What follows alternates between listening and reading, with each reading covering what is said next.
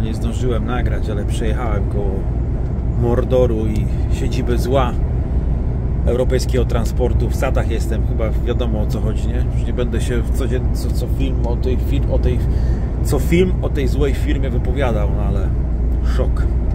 Zawsze jestem w ciężkim szoku, jak mijam ile tam jest samochodów. Może jak będę pamiętał z powrotem, jak będę jechał, to, to, to, to nagram.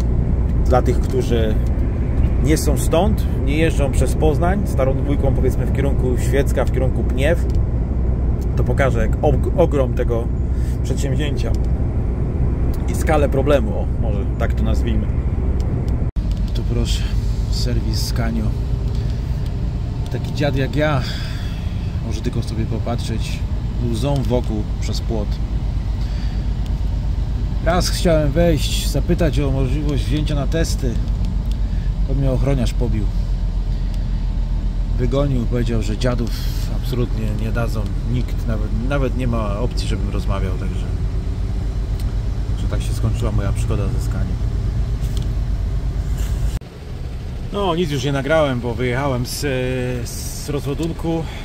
Długo czekałem, bardzo, już jest 20 po 9. Także niestety szybki kurs nie wyszedł. Szybki kurs nie wyszedł i mało tego jeszcze awarię mam. Na szczęście nie jakąś poważną. Już to się raz stało, stało się teraz drugi raz. Nie wiadomo dlaczego w tym manie nie ma czegoś takiego jak blokada e, unoszenia się poduszek. Coś tu się zepsuło, nie wiemy, nie możemy dojść co, że po prostu nawet samym pilotem można na maksa podnieść tak, że wychodzą po prostu te wodziki e, od, od tych poziomek, powiedzmy. I mimo, że miałem opuszczony na poduszkach na maksa samochód, to jak mi zdjęli ciężki towar, to tak mi e, wywaliło ten e, ciągnik do góry, że jak e, potem sam się od razu opuścił po przekręceniu stacyjki, to powyginało znowu te poziomki, straciłem poziomowanie. Jak widać, nie mam, nie mam, nie mam poziomowania, także jutro tata na to spojrzy, bo tak jak było wcześniej mówione, on tym autem jutro jedzie, taki był plan, też tak jest na jutro zaawizowany. I ma jutro luz większy, więc będzie mógł e, będzie mógł nim pojechać. Dobra, teraz szybko się ogarniam i spadam. No i dzień następny. I ten drugi man. No i będzie tu trzeba trochę posprzątać dzisiaj. Palimy maszynę. Co tam? No, jadę zatankować jeszcze też.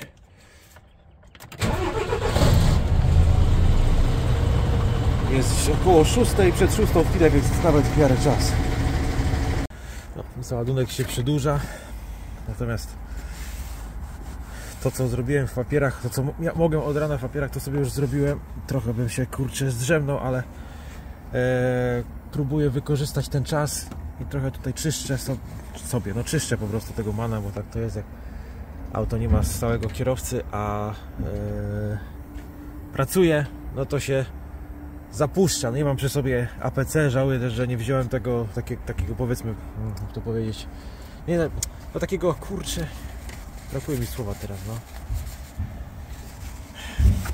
No, takiego baniaczka z pompką do wody, Jezus pamiętałem niedawno jak to się nazywa, dobra, już widzę teraz te komentarze, które będą podpowiadały jak to się nazywa, wiecie, z tą pompką takiego aplikatora do wody powiedzmy, żeby to tutaj to spłukiwać, no i samego APC już by był po prostu, by był lepiej to wszystko wyglądało, no ale mam taki tam Ajax odtłuszczający i w sumie nawet nieźle to wychodzi z ręczniki papierowe. I czyszczę teraz tu podłogę, wydmuchałem wszystko porządnie, potem pozakładam porządnie pokrowce, no bo jednak jak nie, pokrowce widzicie, ja je prałem, potem je zakładałem, teraz wszystko się zsuwa, żeby znowu wyprać, w ogóle się zastanawiam nad zamontowaniem pralki na warsztacie, żeby te pokrowce, wszystkie firanki prać raz na jakiś czas, no, taki plan. Taki powiedzmy opryskiwacz mnie teraz to męczy, najpierw ja to kupowałem właśnie niedawno przez internet i przyszło nowe, o, chyba jestem załadowany. Dobra, to idę po dokumenty, więc mnie pewnie będą wołać. Przyszło nowe właśnie pocztą, czy kur kurierem. Idę! E, Kurierem i mam to w tym, tym nowym manie, bo tam chciałem sprzątać, bo on jest teraz przede wszystkim do sprzątania przeznaczony. Ale, no widzicie, teraz jadę tym, to, to wziąłem tego. Ale no totalne zaćmienie po prostu, chyba opryskiwacz, nie? Nie wiem jak się to na nazywa. No i gnam już w kierunku rozładunku jakieś 70 km. Ledwo co wyjechałem, a widzę, że towar chyba się na plandece położył. Przynajmniej jedna paleta, nie wiem, czy krzywa jakaś, czy co, ale nie zwróciłem uwagi jak wyjeżdżałem. Widziałem, że wypchali tamtą stronę. Teraz no tamta mi się wydaje ok, a ta wyskoczyła, czyli no pewnie się przechylił towar. No i rozładowany. Zrzutka jakoś poszła. Co prawda mówię, tańczyłem tango z poleciakiem, ale ee, nie było źle. Czas dobry. Jak widać lusterko urwane cały czas pod wiatru, tak jak były te wichury, to urwało lusterkę. Nie ma oczywiście czasu tego zrobić, bo zawsze są pilniejsze tematy. Lusterko leży na górnym łóżku kupione, ale nie ma czasu. Teraz już dojeżdżam do Poznania.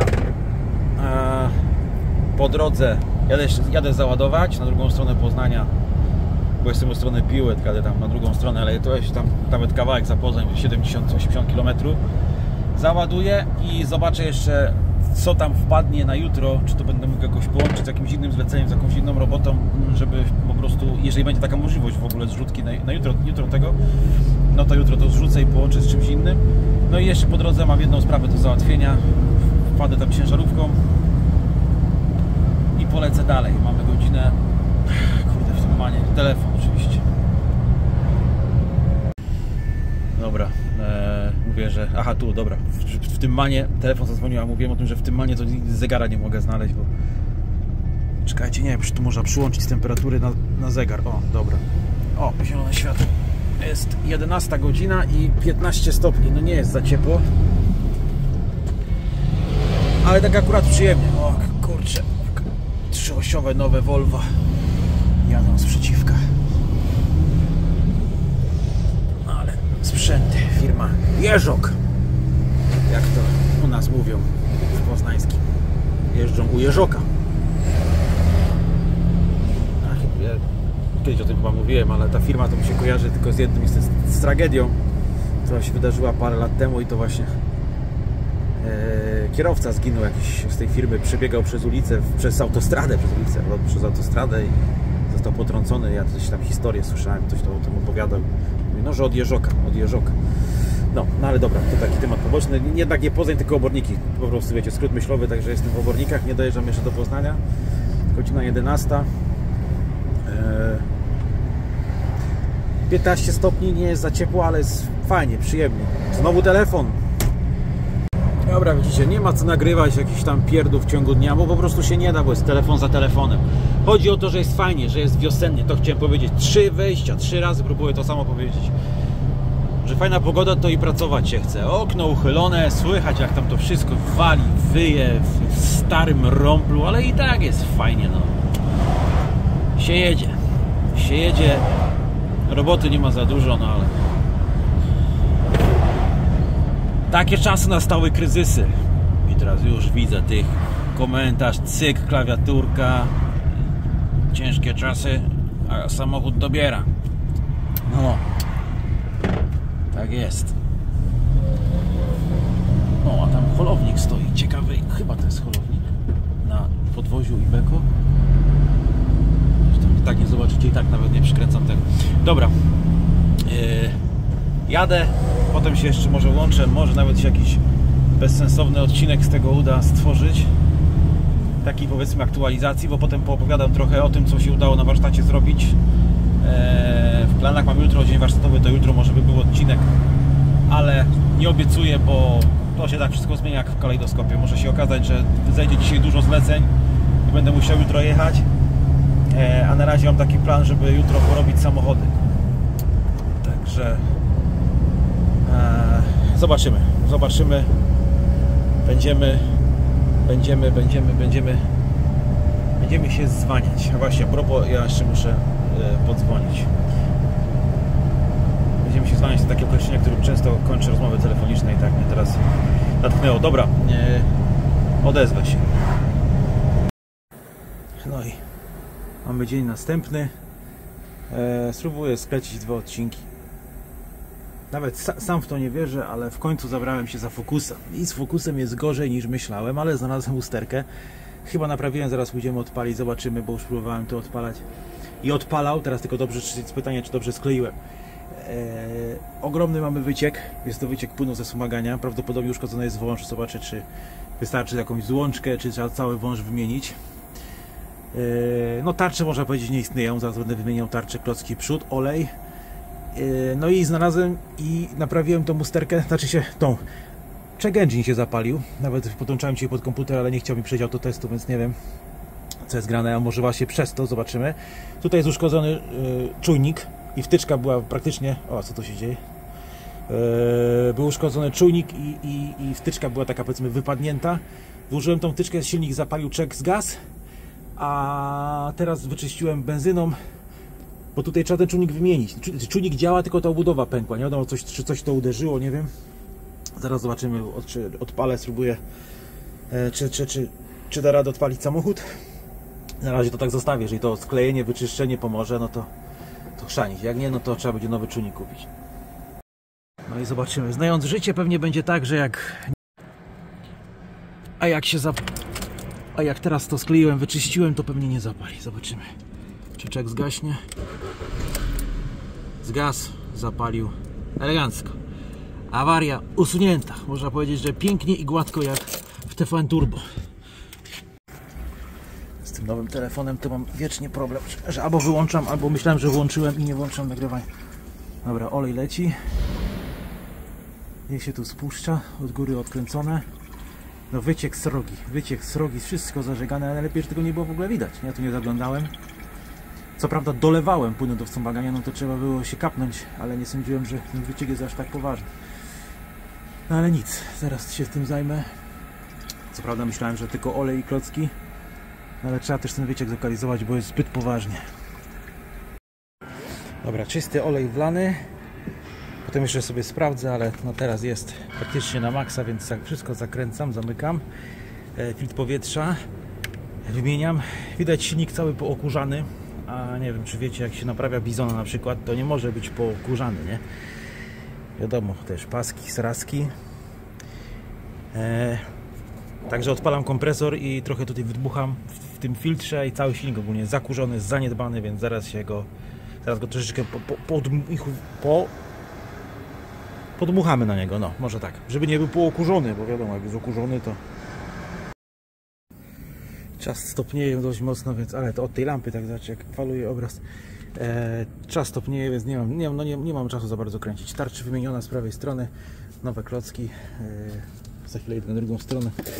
Ciekawa sprawa, no bo klocki jeszcze byłem przekonany, że idą po samej blasze a tu klocka jeszcze dużo, tylko że dziwnie się wybierał, bo jeden tak drugi tak.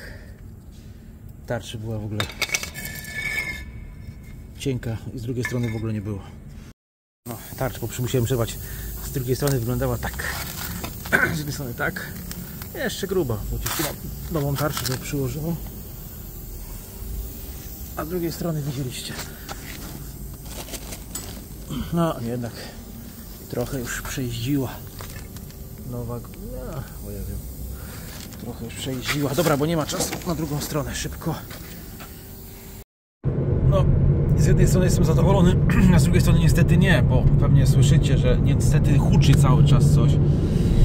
Nie robiłem tyłu, w ogóle nie rozbierałem, bo już też nie było czasu, e, ale tak tutaj za to mieliśmy właśnie do warsztatu dwójkę fokusem i wydaje mi się, że, wydaje nam się, że to jednak jest przód.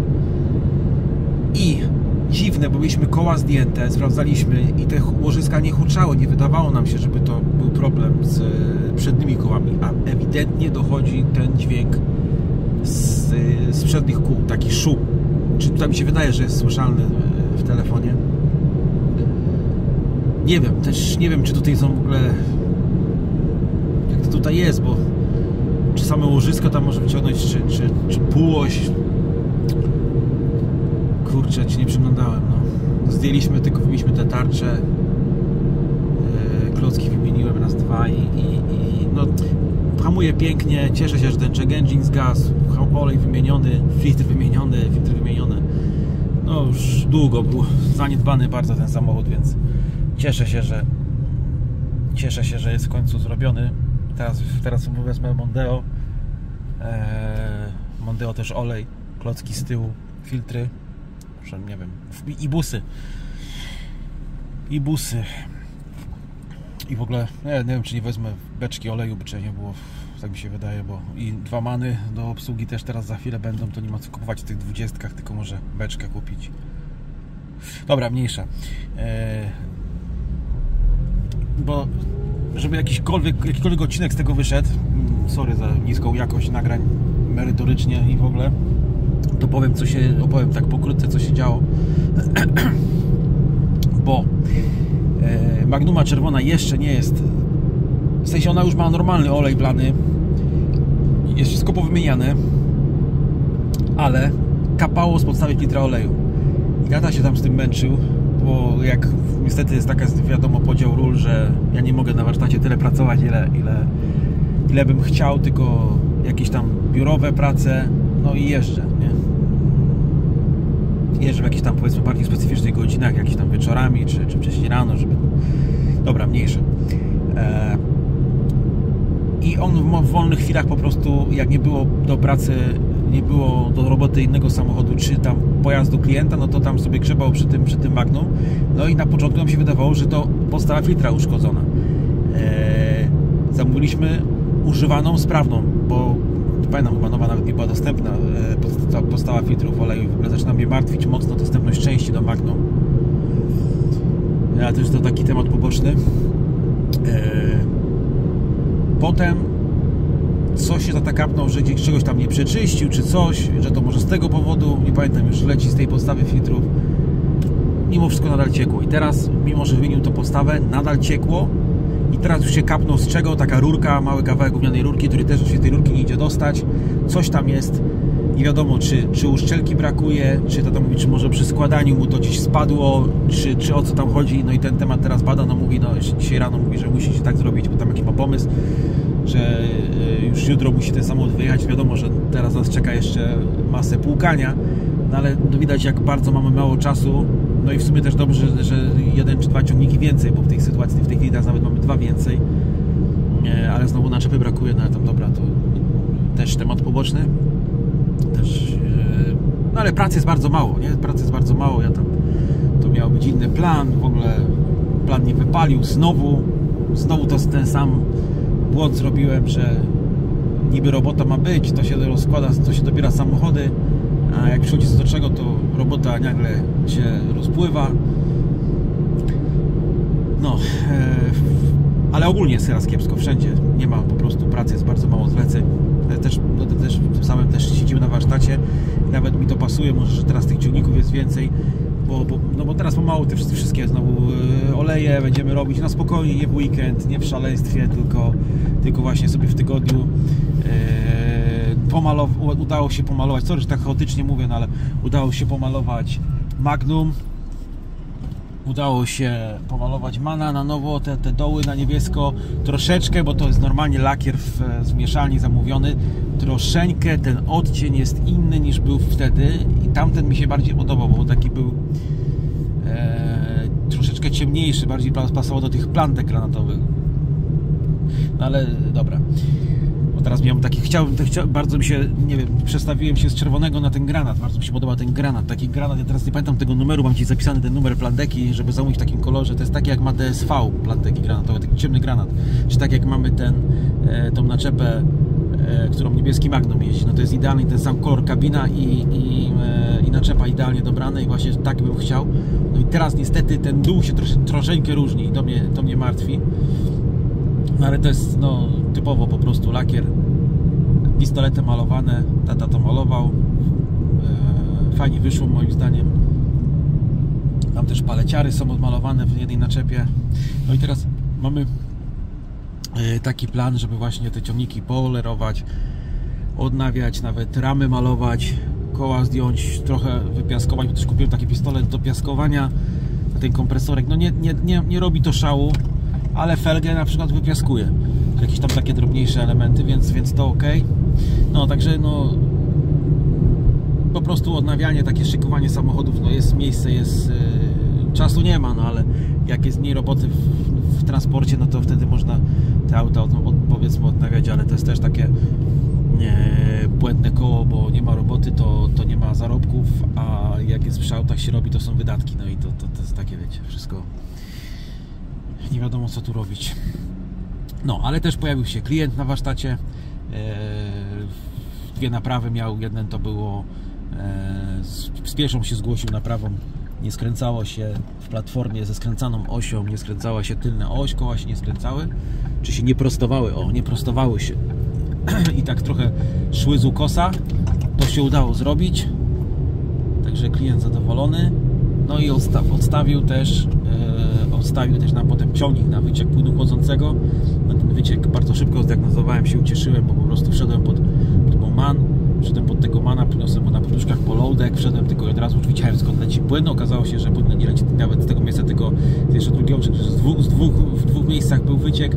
E, I tam ogólnie taka, taka kontrola stanu e, też była zlecona, bo tam kierowca oleju nie sprawdzał, bo to tylko trzeba było to, że kabinę podnieść do góry, czy podnieść kabinę, tak żeby tam sprawdziliśmy olej, płyny i też ma być podobno w przyszłym tygodniu ten ciągnik do nas wrócić na, e, na właśnie obsługę, na wymianę oleju, ale te, te, te, te, e,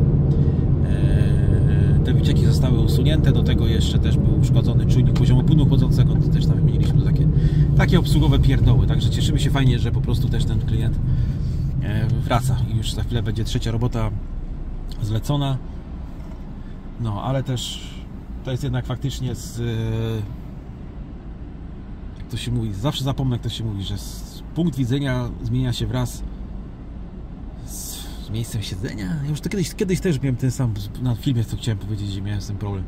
Że ciężko jest takie usługi wycenić, bo, bo, bo można by powiedzmy, tu jeszcze przy samochodzie to tam, chociaż nie, bo, ta, bo potem się okazało, że z dwóch miejsc leci, to taka była rurka. I tą rurkę trzeba było wymienić, bo na początku chcieliśmy po prostu rurkę naprawić, ale potem jak już stwierdziliśmy, że w dwóch miejscach, to trzeba rurkę wymienić. Rurkę trzeba było pojechać, kupić, zamówić i wymiana tej rurki była upierdliwa i dosyć czasochłonna, bo, bo taki był ciężki dostęp i tak dalej. No ale no to jest tylko wymiana rurki. Teraz jak to wycenić, żeby nikomu, powiedzmy, żeby, wiecie, klienta nie zdenerwować, i, I, tak samo też na przykład z tym skręcącą skrętną osią, to też trzeba było dwie osoby zaangażowane, koła zrzucić, stworznie, nasmarować, tam kurczę e, kombinować, wybić, nabić, znowu koła założyć oba. To też, też trochę roboty, roboty było, no ale jak, jak to suma, suma summarum wycenić? To jest taka, no, robota mechanika jest cholernie trudna, e, też no wiadomo czasochłodna, fizycznie po prostu człowiek się bardzo narobi przy tym, więc no to jak to wycenić, nie? Jak, jak, jak, jak taką, taką robotę wycenić, to jest faktycznie e, taka troszkę zagwostka, nie? No, e, zwłaszcza w dzisiejszych czasach, że to takie wszystko, wszystko droższe, a znowu też kryzys, ludzie, wszyscy mamy problemy, no wiadomo o co chodzi, pracy nie ma i tak dalej.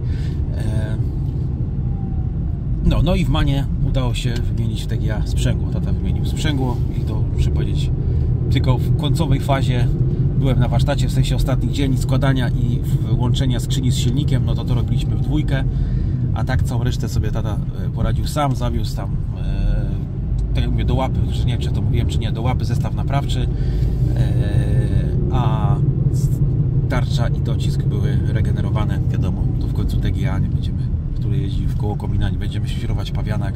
Można regenerować, to trzeba regenerować żeby nie było takich, to były śmieszne koszty, śmieszne koszty, bo też miałem mówić takie merytoryczne rzeczy.